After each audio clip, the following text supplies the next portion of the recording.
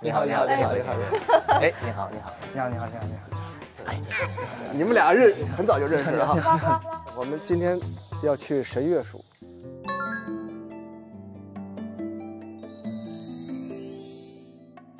听说过琴瑟和鸣吗？当然听说过了。琴瑟和鸣的琴和瑟啊，这是瑟。对，这是清早期的瑟，像一个大古筝。但是它码子和古筝不一样，大家看是两行码。在演奏中和韶乐的时候，它是一个八度这样同时弹，好好听啊！对，可以试一下。这是不是学起来比古筝要稍微简单一点？老师和古筝是一样的啊，一样的。对。哇天哪，太好听了吧，太美妙了，我又不想吃肉了。又来了。哎哎，你你小心可以试一下，为什么为什么有这个弦呢？大家看，这是二十五根弦，但是最早的瑟是五十根弦，这是李商隐的说“锦瑟无端五十弦，一弦已铸四华年”，就指的是瑟。但是后来这个瑟给一破两半，就是我们大家现在看到的二十五根弦的这个瑟。古筝是什么？二十一根弦啊，对比它更小一些。这个是古古筝吗？这个是这个是古琴。古琴，对，这个和那个弹奏方法就不一样。我们大家知道，古琴中国最古老的丝弦类乐器，说琴棋书画的琴指的就是它。它的记谱方法就是我们知道的简字谱。祭祀的时候怎么弹呢？特别简单。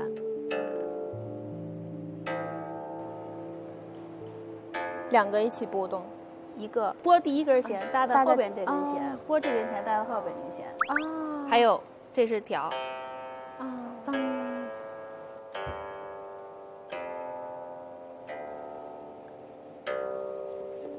还有左手。哦，就出来那个颤音了。当。对。哦。对，呃，你来，那 你来试一下。试一下，试一下，哦，可以试一下。试试。天哪，要断了这个弦，轻点，轻点。你是不是先 弹完了以后再唱？好，左手和右手都是一样，特别自然的放在这儿。看这个古琴，上面这个徽，啊，它是十三枚徽点，用来定音的。啊，就这个这个点对，这个徽点对。比如说哪边是高，哪边是低呀？这边是它以中间中间为标准。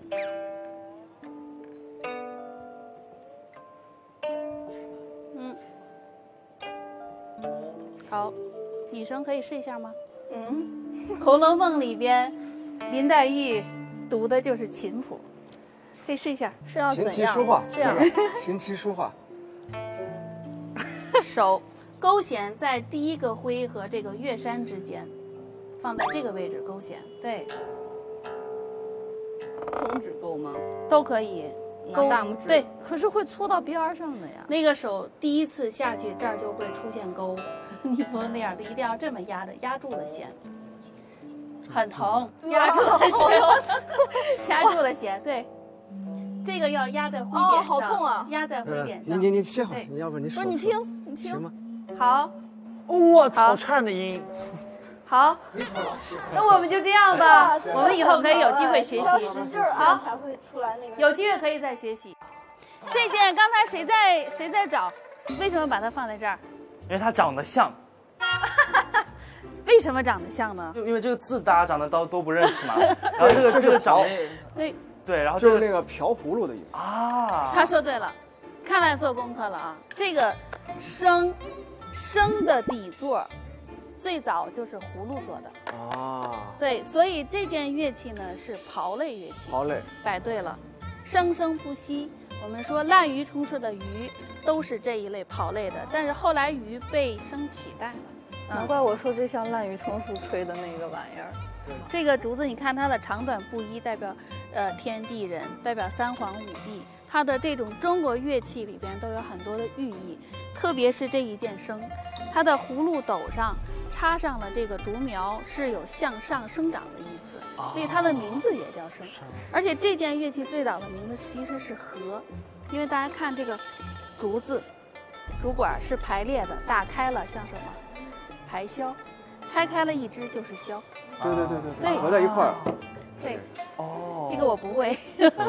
没事，老师。这件，这件叫什么？柱，它是用来整首乐曲的开始。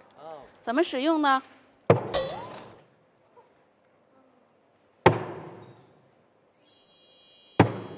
三下。那那边为啥是个空的？为了声音吧。声啊，哦对，这个在我的方向，大家摆反了，应该是这样。反着反着来。对，这是柱，站在这个位置，击柱三下，音乐开始，敲钹钟，敲边钟。哦，先是先从左开始。先从前，左右有讲究吗前先前，左右再左，再右。对，节奏是对的。很简单的乐器，但是演奏起来是要有一定的节奏，节奏跟立语一样。这个叫挥，挥举乐使，挥演就是挥放下乐落这也是个乐器啊！啊，这是个指挥器。那么这个大殿呢，叫做宁喜殿。我们抬头看，哇，玉振金声。这块匾挂在这儿有二百多年了，乾隆御笔，乾隆皇帝把这样的一个音乐用文献记载下来，让我们今天这个乐器能在舞台上呈现，能够让我们今天听到，是让我们这样的中华的礼乐文化呢，能够周而复始，永远的流传下去。鼓掌鼓掌鼓掌！你以前来过天坛吗？第一次，第一次来啊！你呢？我也是第一次来。那我要在这儿一直工作很久。我给你演一个大臣。那我是将军。这这是什么？这这。哇哇！真棒！仔仔真棒，仔仔又长大了。哦，天哪，突然了吧？被你逮住了。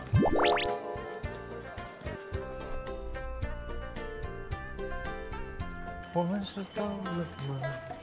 我们到了吗？每一个人都有不一样的青春。我们到了吗？到哪里？饿吗？我刚刚问你吃了吗？好饿啊，早饭吃了吗？吃了，没吃。吃了，必须吃的。吃的什么？吃了粥，什么粥？小粥粥。小粥粥。因为其实以前没怎么接触过古乐器啊，也没有听听过中和韶乐，然后第一次听的话，觉得太优美了。